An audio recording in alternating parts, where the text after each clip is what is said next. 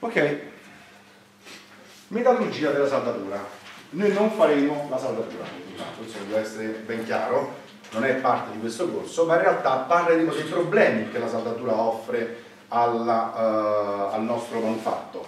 Intanto chiariamoci su un punto fondamentale, la, la saldatura è una tecnica di giunzione molto recente. Considerate che i primi usi estesi eh, probabilmente possono essere fatti risalire all'ambito marino, saldature di piastre su navi, e riguardano ambiti tipo corazzate, corazzate cosiddette tascabili, eh, prevalentemente prodotte in Germania. Eh, si trattava di giunzioni effettuate in, con la finalità di ridurre i tempi di produzione e alleggerire il peso stesso della, della, della nave. Uh, l'uso ai fini di ridurre i tempi di produzione è stato poi fatto in maniera estremamente estesa. Nel caso delle navi Liberty, erano le navi impiegate dagli alleati per trasportare uh, uomini e truppe, uomini e mezzi dagli Stati Uniti verso l'Europa.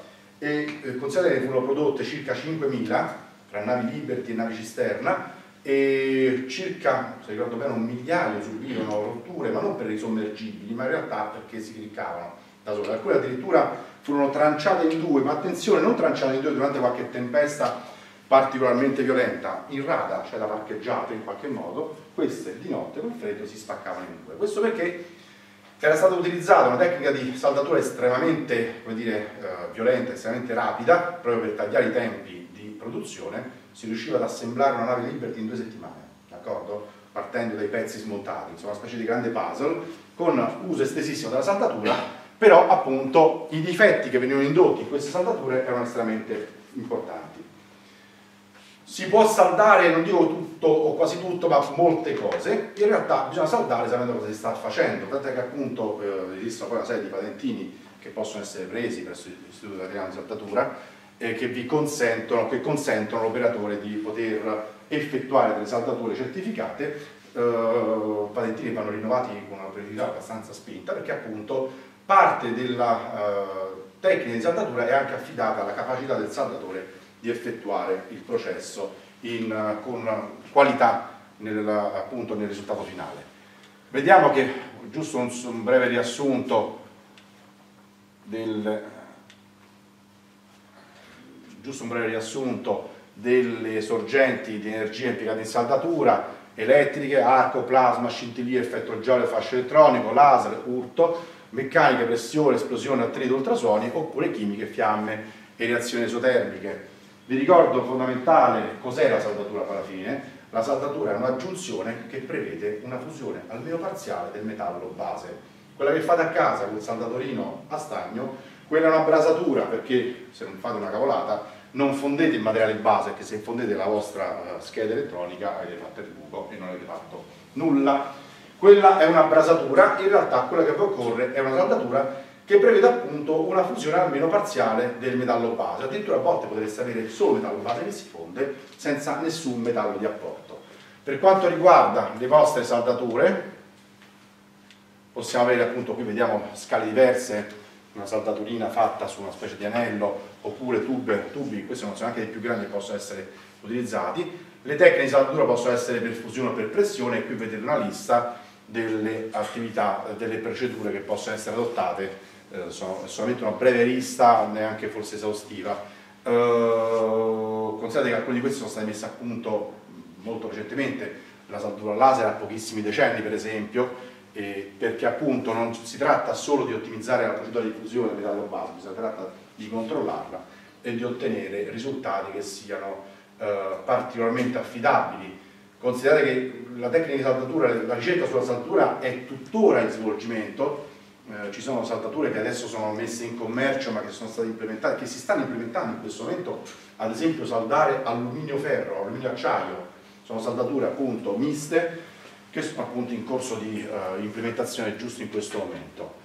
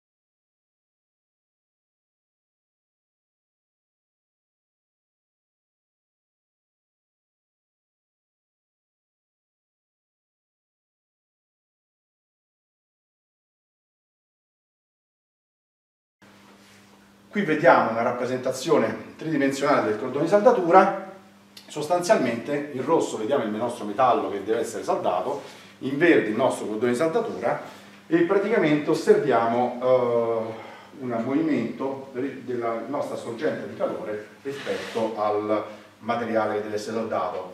Chi si muove l'uno o l'altro è indifferente, basta uno si muove, se no te ti fate il buco e quindi eh, partendo dai cordoni, in questo caso una saldatura testa testa testa, cordone, partendo da, da, un materiale che sia opportunamente preparato anche dal punto di vista geometrico, cianfrinato si dice insomma, avete questa sede che va ad accogliere il bagno di saldatura. C'è una certa potenza erogata che viene denominata come W, kg per secondo, e c'è una velocità di movimento della sorgente, in realtà una velocità di movimento reciproca, può muoversi la sorgente può muoversi il metallo base, dipende da cosa state facendo esattamente. La quantità di energia disponibile per unità di lunghezza è chiaramente il rapporto fra W e V e poi c'è un parametro importante che non è un parametro energetico, ma un parametro, chiamiamolo chimico, che è quello del rapporto di diluizione, dato dal rapporto fra il metallo base fuso e il volume totale della zona fusa. Ora, questo rapporto di diluizione è, eh, come dire, vi caratterizza il vostro cordone a condizione che il vostro cordone, il vostro bagno fuso non reagisca con l'ambiente esterno durante la vostra saldatura perché non ci scordiamo che all'esterno se vi dice bene c'è l'aria dico se vi dice bene perché potreste farle anche in acqua le saldature. Quindi in realtà se il vostro cordone non è protetto eh beh, è esposto metallo, metallo fuso esposto alla reazione chimica con l'ambiente esterno Qual è il problema? Beh, il problema è almeno duplice. Il primo, il metallo fuso tende a, fondere, tende a reagire con uh, l'umidità, eccetera, a formare eh, particelle non metalliche. Queste particelle non metalliche tipicamente tendono a galleggiare sul vostro cordone, ma non potrebbe non essere così e potreste averli intrappolati all'interno. E voi sapete già che una particella intrappolata all'interno è un buco all'interno della vostra struttura, una soluzione di continuità. L'altro aspetto non trascurabile è che gli elementi chimici che fanno parte del cordone di saldatura hanno un'affinità chimica verso l'ossigeno, dell'aria per esempio, diversa tra loro. Quindi in realtà ogni elemento reagirà con una probabilità diversa rispetto agli altri. Cioè quello che rischiate non è semplicemente la formazione di particelle di ossido che potrebbero galleggiare o potrebbero rimanere intrappolate, ma rischiate anche quello che si chiama disproporzionamento della lega, cioè vostro, la vostra lega, se non proteggete in qualche modo il vostro bagno fuso, rischia di cambiare localmente di composizione chimica in maniera incontrollata. Già lo fa perché voi ci aggiungete un metallo di apporto, ma in realtà potreste appunto avere questo problema. Il rapporto di diluizione, definito come volume metallo base fuso, fratto, volume totale zona fusa, sempre appunto non considerando il problema dell'eventuale reazione chimica fra il bagno del vostro cordone e l'ambiente, può andare da 0 a 1. Quando è 0 e quando è 1? Se è 0 è volume metallo base fuso pari a 0, che vuol dire una brasatura sostanzialmente. Se il rapporto è pari a 1 abbiamo a che fare con una saldatura dove non c'è metallo di apporto. Sono i due estremi che sono assolutamente eh, dire, eh, compatibili. Prendiamo un acciaio, prendiamo in realtà due lastre d'acciaio e cerchiamo di farne una saldatura testa a testa abbiamo detto che abbiamo l'aggiunta di energia e per il momento trascuriamo l'eventuale presenza di un metallo di apporto. Lo possiamo fare perché abbiamo detto che una possibilità di saldatura è quella in cui appunto non ci sia metallo d'apporto, vedremo poi per poco che sarà importante questo metallo d'apporto e molto spesso svolgerà un ruolo fondamentale. Se effettuiamo in, questa, in questo disegno in alto a destra una sezione, mentre passa il cordone di saldatura, che vediamo qui avere questa direzione verso sinistra, osserviamo che il cordone andrà in piena fusione. E poi a distanze di via crescenti lungo il cordone avremo temperature che andranno via via a diminuire banalmente. Se prendiamo il nostro diagramma ferro-carbonio prendiamo per esempio una lega allo 0,2% di carbonio come caratteristica delle due lastre che si stanno saldando i punti 1, 2, 3 e 4 sono sostanzialmente quelli che leggiamo a distanze crescenti dal cordone di saldatura. Quindi in realtà quando noi stiamo saltando non solo stiamo fondendo il nostro metallo che nel diagramma ferro-carbonio se stiamo saldando un acciaio vuol dire trovarci in campo di liquido ma a partire dal cordone e allontanandosi da questo avremo un riscaldamento che avrà una sua storia termica con un valore massimo che raggiungerà picchi via più bassi man mano che mi allontano dal cordone, chiaramente a destra e chiaramente a sinistra del mio cordone. In questo caso, in questa tipologia, con una uh, simmetria abbastanza evidente, ma non è detto che sia per forza simmetrico, dipende cosa sto saldando. Non abbiamo solamente saldature testa-testa, dobbiamo avere le a T, abbiamo configurazioni geometriche più strane. Ebbene, se dopo la saldatura io effettuo, e dopo il raffreddamento chiaramente del mio pezzo, effettuo un'analisi della durezza a partire dal mio cordone andando verso sinistra, è abbastanza frequente osservare l'andamento che osserviamo lì in figura in basso a destra, e cioè un valore che ha un picco massimo abbastanza evidente per poi scendere verso il basso a valori addirittura più bassi rispetto a quelli del metallo base e poi ricrescere. Per quale motivo ci ritroviamo con questi valori, questo strano andamento della durezza? In realtà, come vi ho detto, dipenderà molto dal, dal, dalla storia esattamente che avviene punto per punto, ma diciamo che questo valore massimo questo valore minimo dell'andamento della durezza sul profilo, sulla sezione nostra, uh, del nostro cordone di saldatura è dovuto almeno a alcuni motivi. Andiamo su quello più semplice, ovvero questo valore minimo di durezza. Corrisponde a quella zona nella quale il nostro acciaio è rimasto intorno ai 600-700 gradi, probabilmente ci è rimasto anche abbastanza a lungo, e l'unico meccanismo che può attivarsi in questo caso è l'ingrossamento del grano. Grana cristallina che si ingrossa non può che apportarci un valore più basso di durezza. Questo abbassamento di durezza però non è particolarmente pericoloso, è molto più pericoloso e a volte causa di rotture quel massimo che vedete lì a sinistra. Il massimo può essere dovuto a vari, a vari fenomeni, almeno due sostanzialmente. Se ci sono elementi carboligeni possono precipitare carboni, per esempio. Ma cosa che avviene quasi sempre invece è banalmente dopo l'austenizzazione abbiamo un raffreddamento che potrebbe essere molto rapido e abbiamo una zona di martensite che viene a formarsi in questo intervallo.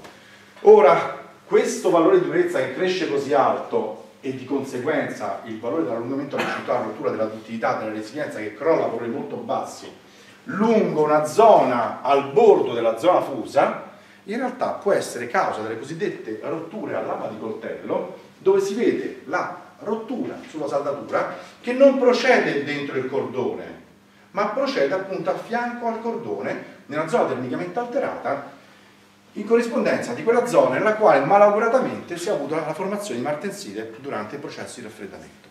D'accordo? Quindi in realtà questa durezza che cresce, cui corrisponde un abbassamento importante, probabilmente molto importante, di utilità e di resilienza, può portare facilmente a rotture il nostro pezzo. Quindi, tornando al nostro cordone, la nostra figura qui in mezzo, vediamo almeno tre zone importanti. La zona dove si è fuso, il nostro pezzo si è fuso, perché è importante, perché dopo che si è fuso si deve risolidificare. E noi sappiamo che la solidificazione è un processo particolarmente oneroso dal punto di vista poi della resistenza meccanica del manufatto stesso.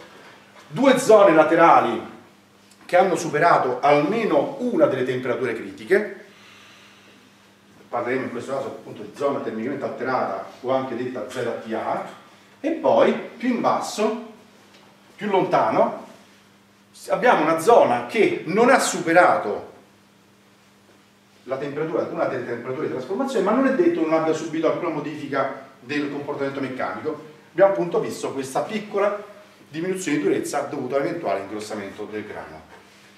Qui vediamo la stessa cosa, abbiamo appena detto, ma è un po' più complessa, perché? Bene, guardiamo la figura in a sinistra, la parte in alto fa riferimento alla microstruttura che abbiamo alla massima temperatura laddove appunto osserviamo, a parte il liquido, la zona che viene austenitizzata, la zona di transizione, la zona ferrito-perlitica. Dopo raffreddamento, a seconda abbiamo a che fare con un acciaio ad alta temperabilità o a bassa temperabilità, avremo microstrutture differenti e quella molto pericolosa è la zona che possa portarvi alla formazione, è quella che è più in basso, dove possiamo avere, nel caso di acciaio ad alta temperabilità, una martensile più o meno estesa, addirittura all'interno del cordone di saldatura, laddove questa cosa è possibile. Questo perché vi ricordo che punto per punto dovremo considerare il diagramma in alto a destra, che è il diagramma ferro-carbonio, ma comunque la, la composizione chimica del nostro acciaio, le varie fasi presenti, insieme col diagramma CCT, perché non ci scordiamo che una volta riscaldato dovremo anche raffreddarlo questo acciaio nel caso delle zone che hanno superato la temperatura di ossidizzazione, quindi sopra il punto 3, potremo parlare, potremo considerare il diagramma CCT con le varie curve di raffreddamento. Non ci scordiamo che le curve di raffreddamento non saranno quelle che vediamo in questo diagramma, perché? Perché qua parliamo di un diagramma CCT dove il nostro pezzo è ossidizzato alla stessa temperatura. Qua invece avremo temperatura di ossidizzazione differente, cioè il punto di partenza sarà via via crescente e le curve saranno differenti, quindi la cosa è abbastanza complessa. Il risultato però dal punto di vista poi microstrutturale è quello che abbiamo visto appunto a sinistra, cioè una microstruttura che cambia dal cordone di saldatura verso la zona del metallo base con, con morfologie differenti appunto a seconda del metallo base, sia esso appunto eh, più o meno temprabile.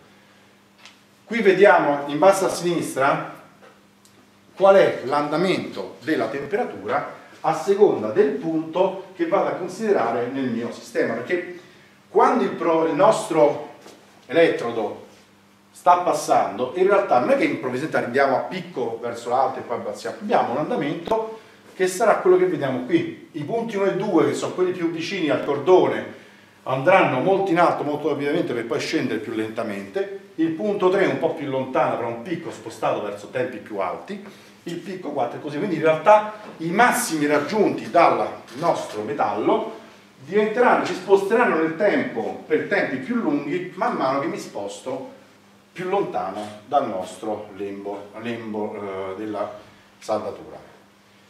A questo punto possiamo distinguere tante zone, qui ci sta una classificazione, leggetela se volete, ma insomma il riassuntore molto semplice è metallo base fuso, metallo fuso del cordone di saldatura, zona termicamente alterata, e vi ripeto, una zona che abbia subito la trasformazione di almeno, secondo almeno una delle curve di trasformazione, delle temperature di trasformazione allotropiche, e poi appunto la zona del metallo base, dove al massimo possiamo avere a che fare con un eh, leggero ingrossamento del grano, laddove questo possa avvenire.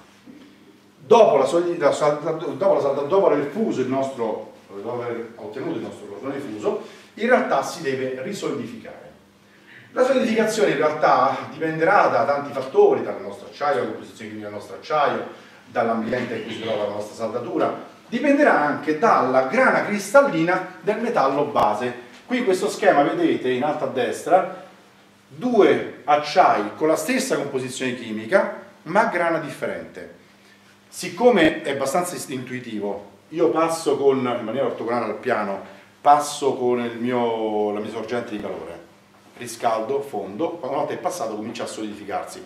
Qual è il principale meccanismo di raffreddamento qua? Ma è molto semplice, è la conduzione termica attraverso le nostre piastre, quella è la principale modalità di asportazione del calore. E voi sapete già che ogni qualvolta io ho una particolare direzionalità nell'asportazione del calore, tendo a formare dendriti. Ed è quello che purtroppo tende a formarsi, che è una cosa particolarmente spiacevole. Questi dendriti vedranno in ogni singolo grano un potenziale nucleo di solidificazione. Quindi in realtà quanto più è fine la grana, tanto più fini saranno le strutture dendriti che faranno a formarsi, quindi più fine sarà la grana del mio uh, cordone di saldatura, cosa che io voglio molto fine. Perché? Perché il cordone di saldatura è sempre un punto molto debole della mia struttura, più è fine la struttura solidificata e meglio è vediamo che in corrispondenza della zona fusa, ZF, o della ZTA, zona termicamente alterata, possiamo avere tante tipologie di difettosità. Difettosità addirittura visibili a occhio nudo, e visibili mh, addirittura affioranti, e eh, difettosità invece un po' più nascoste. Diciamo una cosa abbastanza importante, e lo vediamo in questo punto qui, una saldatura bella a vedersi è probabile che funzioni anche bene, un'estetica della saldatura, quindi una maglia della saldatura molto regolare vorrà dire che quella saldatura probabilmente è stata fatta abbastanza bene. una, o meglio possiamo dire il contrario, una maglia della saldatura irregolare, cioè una saldatura brutta a vedersi con dei pitorzi eccetera, quella saldatura sicuramente non andrà bene, ecco questo potrebbe essere detto con una certa sicurezza. Abbiamo varie tipologie di difettosità, slivellamento nell'accostamento dei due lembi sono messi in posizioni differenti, la presenza di porosità, un eccesso di penetrazione fino a sfondare la sciaffinatura, la presenza di intrusioni, insellature. Vediamo che quindi queste difettosità possono essere presenti e portano tutte quante a un forte abbassamento della resistenza meccanica del nostro, della nostra saldatura. Qui a questo punto dobbiamo considerare appunto la zona fusa come una zona particolarmente dire, pericolosa per il nostro manufatto. Nella zona fusa abbiamo sicuramente come problemi la protezione dell'ambiente del bagno metallico, saldature sotto vuoto, sotto argon, sotto scoria, in modo tale che si riduca il più possibile la reazione chimica fra il mio bagno fuso e l'ambiente esterno. Vi ripeto, per almeno due motivi. Il primo evitare una formazione di inclusioni che possono rimanere poi intrappolate nel nostro corridoio di saldatura, il secondo un disproporzionamento della lega, cioè una composizione chimica della lega troppo diversa rispetto a quella del nostro metallo base. Il secondo problema principale è sicuramente le condizioni di raffreddamento. Se sbagliamo rischiamo di ottenere in una zona limitrofa una zona eh, martensitica, ma addirittura nel corridoio di saldatura una zona martensitica, questo con conseguente eh, infragilimento. Inoltre poi nella zona di solidificazione abbiamo il rischio abbastanza concreto di formazione di strutture dendritiche, vi ripeto l'asportazione del colore è molto direzionale, la formazione di cavità di ritiro, tutti quanti gli elementi chimici con cui abbiamo a che fare, a parte il bismuto, hanno un volume specifico maggiore allo stato solido, al liquido che allo stato solido, quindi solidificando tenderà a ritirarsi, oppure, quindi con rischi di porosità per esempio, oppure ancora l'inglobamento di particelle non metalliche siano essi ossidi che si sono formati per reazione con il bagno fuso con l'ambiente esterno, sono essi scorie. I consigli della casa che sono appunto utilizzati per eh, decidere, per poter migliorare le prestazioni del cordone di saldatura, sono quelle che vediamo qui. Una composizione chimica non particolarmente dissimile del metallo di apporto rispetto al metallo base, ma con alcuni aspetti abbastanza importanti. Intanto il carbonio del metallo di apporto deve essere più basso del metallo base, per esempio 0,1 rispetto a 0,2. Sempre presente il molibdeno, il molibdeno vi ricordo va sempre piuttosto bene, un po' come il nickel che vediamo subito sotto, quindi in realtà nel metallo di apporto se ce lo mettiamo ce lo ritroviamo nel cordone di saldatura che è abbastanza buono. E poi valori di silicio, zolfo, fosforo e vanadio ridotti al minimo. Silicio, zolfo e fosforo lo capiamo al volo, il vanadio lo capiremo poco se non ci ricordassimo che il vanadio è un elemento che ha una forte reattività chimica verso l'ossigeno e quindi chiaramente se ci sta presente ci forma le particelle non metalliche, il che non va bene. Silicio più o meno lo stesso motivo, zolfo forma solfuri, fosforo ci infragilisce, quindi sono i meccanismi principali per i quali quattro, uh, questi quattro elementi chimici non devono essere presenti. Per quanto riguarda le zone, zone limitrofe, abbiamo come principale problema il problema relativo alla formazione di martensite. Quindi in realtà il nostro metallo eh, base, il nostro metallo da saldare, premesso che appunto, ripeto, si può saldare quasi qualsiasi cosa, ma dovrà rispettare alcune indicazioni e nel caso non le rispetti si dovrà operare con dei processi di preriscaldamento o post-riscaldamento in modo da attenuare il processo di raffreddamento ed evitare la formazione di martensite. Quindi in realtà si calcola, partendo sul metallo base, quello che viene chiamato carbone equivalente, con formulette simili a queste, in realtà non ce ne sta una sola, ma sono tutte abbastanza simili, e praticamente se il carbone equivalente è inferiore allo 0,4% si può saldare senza grandi problemi. Se fra 0,4 e 0,6 si prevede un pre-riscaldo, se oltre lo 0,6 si prevede anche un post-riscaldo.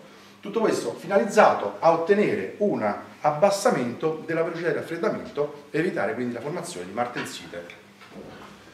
Qua vediamo un'altra cosa che per esempio potrebbe essere relativo ai nostri acciai inossidabili austenitici che abbiamo visto la volta scorsa. Uh, quando abbiamo parlato di sensibilizzazione, vi accennare al fatto che questa potesse essere relativa al processo di saldatura, ma ora capiamo perché. Se io ho due lasti di acciaio inossidabile austenitico che sto saldando, in qualche zona permarrò intorno ai 600 gradi. Quella zona vedrà, vedete queste palline che stanno qui sui bordi grano? La precipitazione di carburi di cromo e posso avere limitrofo al mio manufatto, al mio prodotto di saldatura, posso avere una zona che in realtà non avrà resistenza alla corrosione e che quindi vedrà un attacco corrosivo intergranulare particolarmente oneroso. Qualche micrografia, quindi vediamo che le microstrutture che possiamo ottenere sul nostro cordone possono variare molto da, a seconda delle condizioni di, di saldatura, qui ci sono alcune difettosità abbastanza importanti anche, qui vediamo le micrografie a ingrandimento un po' più grande, e poi un po' di radiografie. Non dovete saperle leggere queste assolutamente, alcune sono anche abbastanza evidenti, insomma, vediamo qui varie porosità per esempio, un po' come le radiografie che si fanno su un osso rotto sostanzialmente, tutti i pallini neri sono zone in cui manca il materiale sostanzialmente, quindi meno ce ne stanno. E meglio è. Ce ne sta un'altra dopo abbastanza interessante, per esempio questa, dove abbiamo appunto queste cricche interne e sono abbastanza evidenti a livello di radiografia. Radiografare è costoso, va fatto laddove il nostro manufatto necessiti di un controllo importante, saldature su, su corpi pompa, eh, in ambito sicuramente nucleare, in ambito chimico, insomma non lo fate per oggetti sicuramente di basso pregio. Qui vedete appunto quali sono le varie tipologie di radiografie che possono appunto essere ottenute a palle di una saldatura di questo tipo.